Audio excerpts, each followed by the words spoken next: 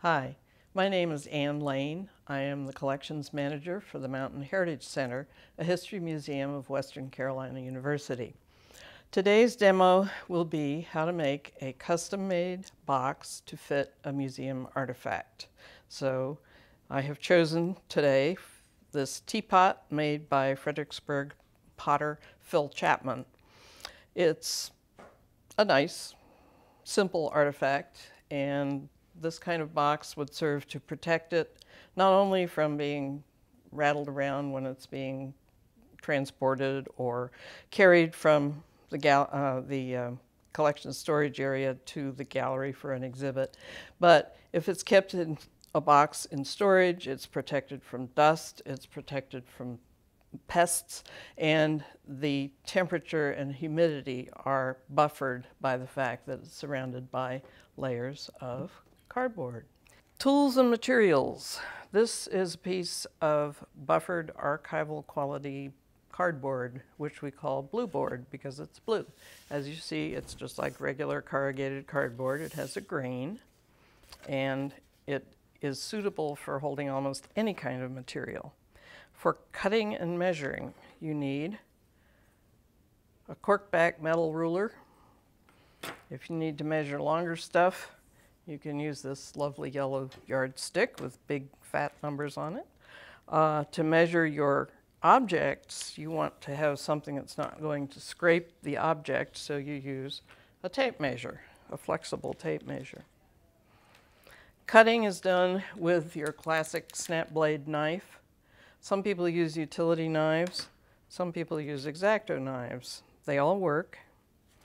For scoring to make your folds, a bone folder is a good idea, but almost anything that has sort of a smooth, somewhat blunt point will do. And then for doing your marking and sketching, you'll need a pencil and a piece of paper or a notebook. Lastly, you will need a glue gun. I've already measured the teapot. It's 10 inches high, 8 and 3 quarter inches wide, 7 and 1 8 inches deep you have to add some space around your object for padding or mounting of any kind. So I generally add an inch to the height, which would make it 11. I add an inch to either side of the width, which makes it 10 and 3 quarters, and an inch to either side of the depth, which makes it 9 and 1 eighth. Then I make a sketch, and it doesn't have to be to scale, just sort of generally. That's going to be my 10 and 3 quarters. This will be my 9 and 1 eighth. Then I have to make the flaps. They'll be 11, 11, 11, and 11. So that's 11 and that's 11. Then all you do is you add this all together. So I have 11 plus 11, which is 22, plus 10 and 3 quarters, 32 and 3 quarters. 32 and 3 quarters. Then I have 11 plus 11 is 22, plus 9 would be 31, and 1 eighth. Now I'll be cutting out a square or a rectangle actually that has these dimensions 32 and 3 quarters whoops, that'll be this way, 32 and 3 quarters times 31 and 1 8. Now I'm going to transfer my measurements to a drawing on the piece of cardboard. So I'm going to start here, make 11 inches for the flap, then the width of the thing is 10 and 3 quarters. So I'm just going to move this up and make it 20 and 3 quarters. There we go. And then the last would be another 11. So that will be the size. Always make two marks so that you can line up your ruler between the marks to make a straight line, presumably straight anyway. And be sure the ruler doesn't move. Now I would not ordinarily be using a red Sharpie for this. It's not exactly archival, but in order to make it clear to now we're going in the other direction. I'm going to have to find the center of this piece of board and measure out from either side. So the center is here. And we want this to be nine and one eighth. So that would be four and a half and one sixteenth. So that's one side, and then this is the other side.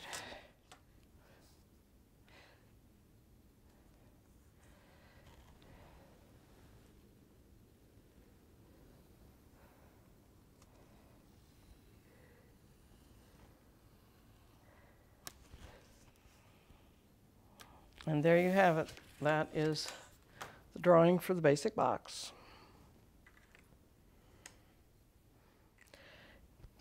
For each flap, you want to cut from the corner of the bottom of your box and out to the edge. This, by the way, is the bottom of your box. These are the sides, and these are the flaps, and they will have to be trimmed smaller. So I will proceed to cut the other three flaps. Now I'm going to trim the flaps to be narrower and I'm just going to pick an arbitrary measurement. Two and a half inches, be plenty wide.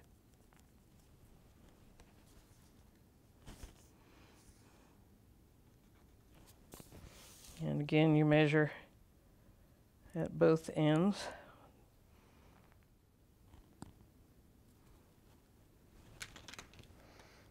Starting right there.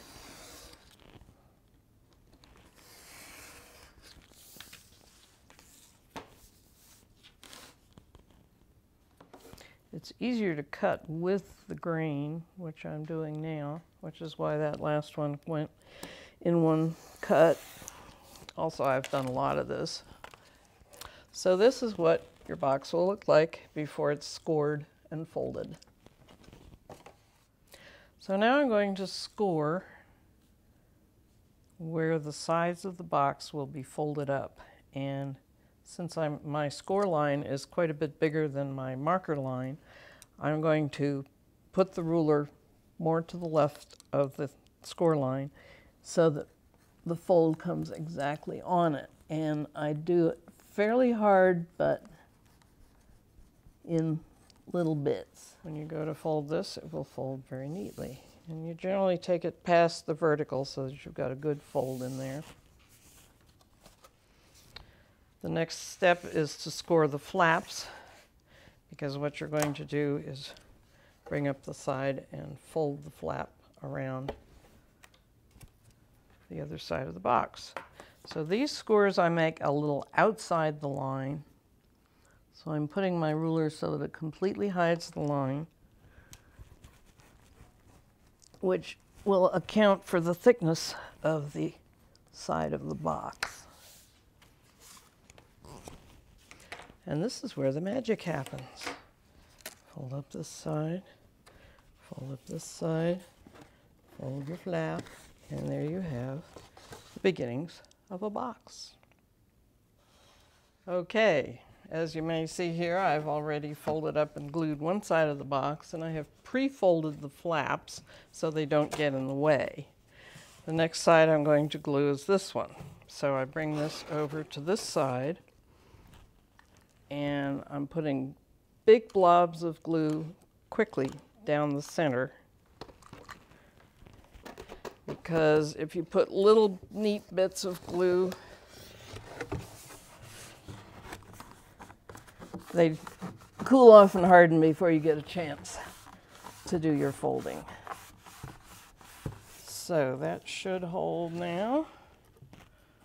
Looks good. turn the box back over. Next one we'll do is this one. So blobs. And that is box. And